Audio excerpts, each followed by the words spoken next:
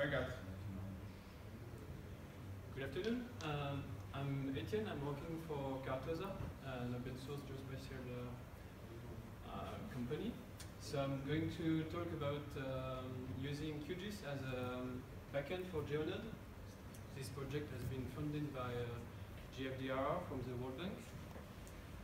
So let me talk just quickly about QGIS. Uh, so it's available on uh, many platforms like Windows, Mac, Linux, uh, Linux and Android.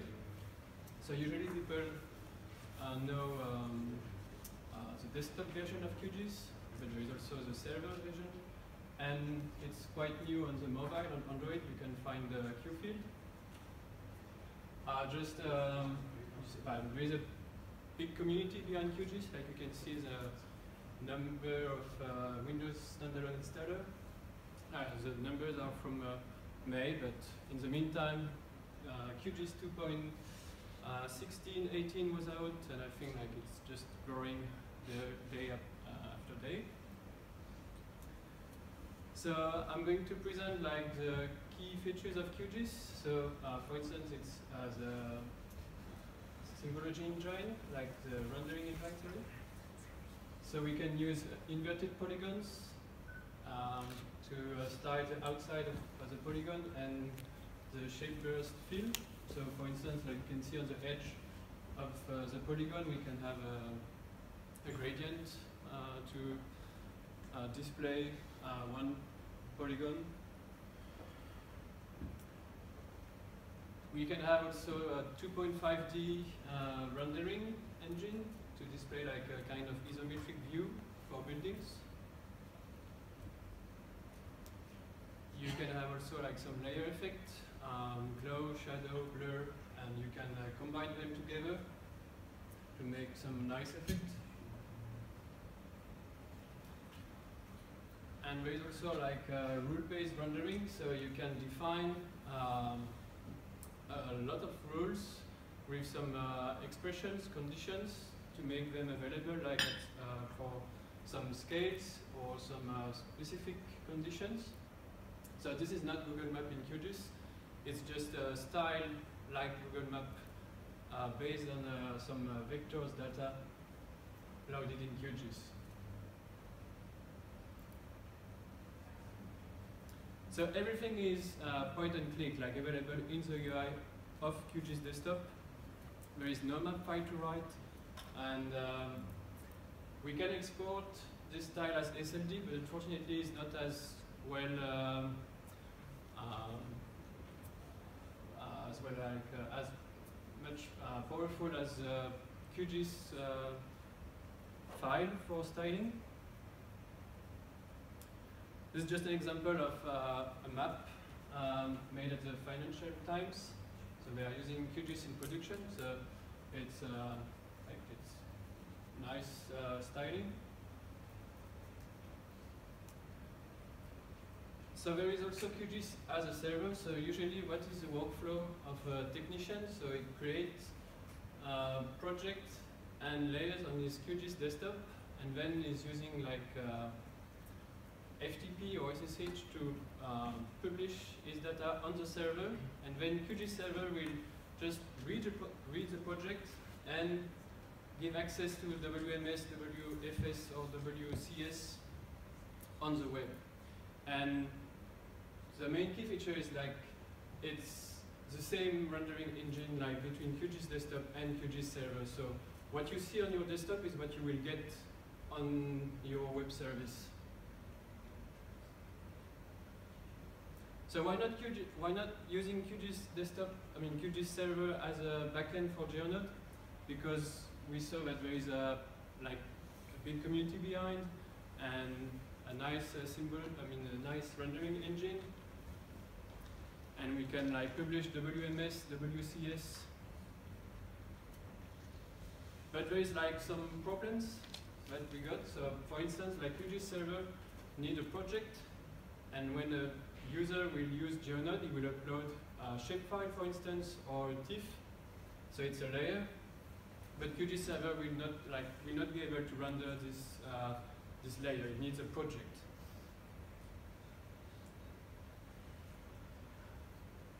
So that was like QGIS server, like usually what it uh, does, it's uh, like there is a client and you made an OGC HTTP request, and then QGIS server will answer like with a basic service like WMS or WFS, uh, GML or PNG.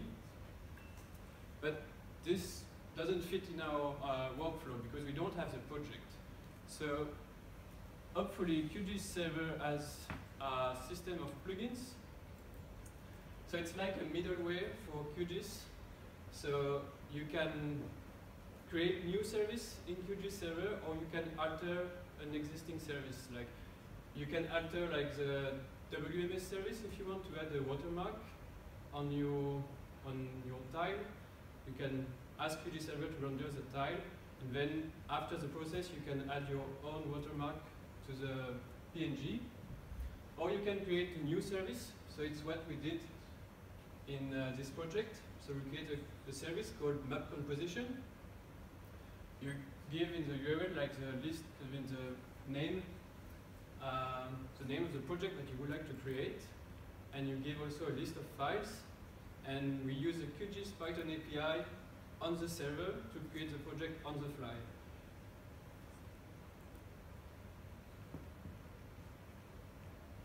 There is also like another problem that we got. It's uh, GeoNode is very linked to GeoServer. Um, so the first code, it's it was like what it was in GeoNode before, and when we came with uh, our QGIS server backend, we need to add like this kind of hack is uh, this kind of uh, if statements to check if uh, the GeoNode is running like with GeoServer or with QGIS server. So it's not really like uh, very beautiful, I would like to say, like this kind of code. So we would like to improve this. Um, I mean, to have a better uh, separation between GeoNode and the, um, the backend, like uh, QGIS or GeoServer. So what we did to uh, give tiles to the user, it's the client will make a TMS request and this, this request goes to uh, the to GeoNode, and we use GeoNode as a proxy. Like um, it will check if the tile is on the file system, like we do a caching um, on the disk. If the, if the tile is not in the file system, then we generate a WMS request to QGIS with the project that we created before, and then we store the, the tile on the file system and we give the tile back to the user. Because QGIS server doesn't have a TMS uh, service by default, so we created it by using um, GeoNode as a proxy. So where are we now? Um, so I have a video of it.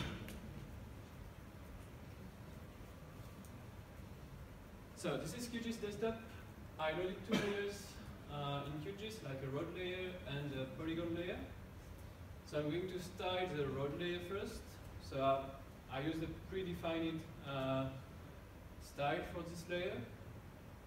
So it's a rule-based uh, renderer. So there is like a lot of rules, like for each uh, item of my attribute table. Um, so for each item, I can uh, choose like the minimum and the maximum scale. And it's all point and click, like you can see like we can uh, choose in the UI like uh, the width on my line and how it will be displayed on GeoNode. So I can add um, some labels. Yeah, that's it. And then I can also do the same for my polygons.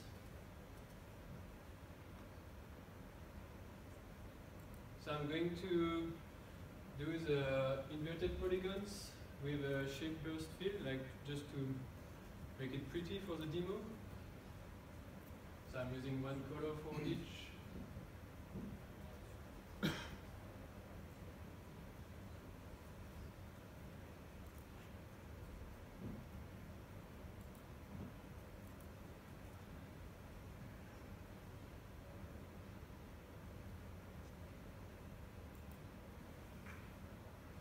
Saves the, the style by default.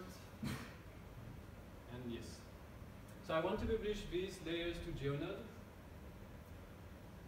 So now I'm going to uh, our own instance of GeoNode, which is running the QGIS server backend.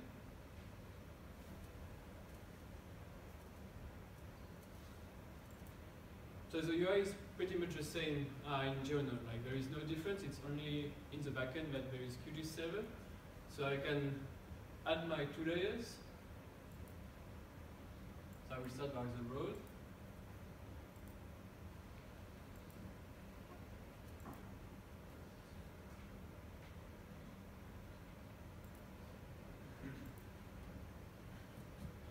So yes, that's it. That's QGIS server rendering like the legend and the tiles using exactly the same style as, as uh, I've done in QGIS desktop before.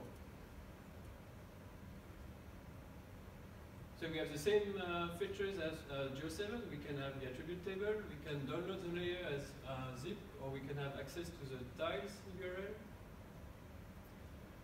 There is a metadata tab.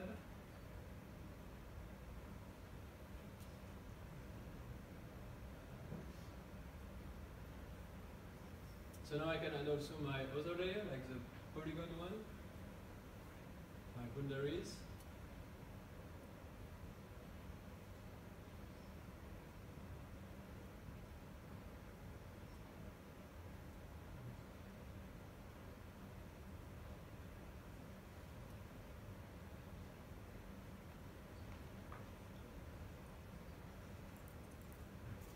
Yeah, and I have all my uh, boundaries with my shape burst fill.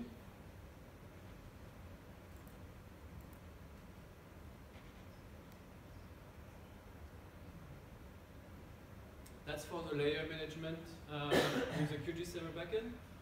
So we can also create um, maps, and it's using like the tiles that we are just creating with the with the backend. So this is a new viewer that we created using Leaflet. Um, we have less tools for now, um, not editing, but I mean we can add layers, and we can also like reorder them.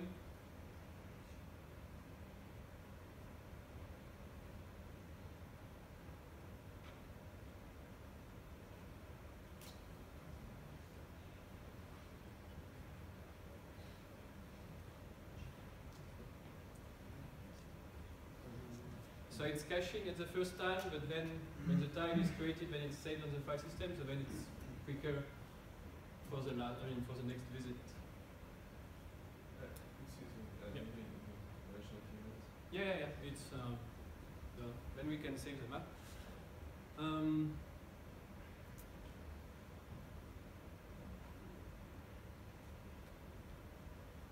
so where are we now? At, um, so. So what we would like to do now is to have a better integration of the QGIS server backend in GeoNode. Uh, as I showed you quickly, um, GeoNode is very linked to GeoServer. Um, we would like also to add the styling support. I'm going to uh, like yeah to talk about that just after. To have a universal API for GeoNode backends. Um, I mean, we don't want to make the code just specific for QGIS server. We, uh, if GeoNode maybe later, we would like uh, maybe for now is GeoServer. Uh, we are doing QGIS server, maybe um, map server will come, or maybe ArcGIS server, why not? We would like also to improve like um, performance and rendering issues. Like we have just some like adding map proxy or doing meta tiling, not doing uh, one request per tile. Uh, we can add uh, the authentication system because we are using uh, as a proxy to the and to request the WMS. So we can use Django Guardian for that. And then we would like to integrate uh, into QGIS. So you have to imagine that this is QGIS, and maybe in a, in a few weeks, uh, you can have like on the left panel, like you have all your data stores like PostGIS, uh, WFS, WMS, and you have GeoNode, and you can like add a GeoNode to this uh, to this browser, and browse like load uh, layers from uh, GeoNode instance. And also, why not adding some buttons to publish your layers as a map into a Geonode instance on the web? That's uh, in our roadmap. So I put some links like for what we created exactly. We created like so one QGIS server app for uh, Geonode, one plugin for QGIS server to create the project on the fly, and uh, thanks for GFDR to fund this project.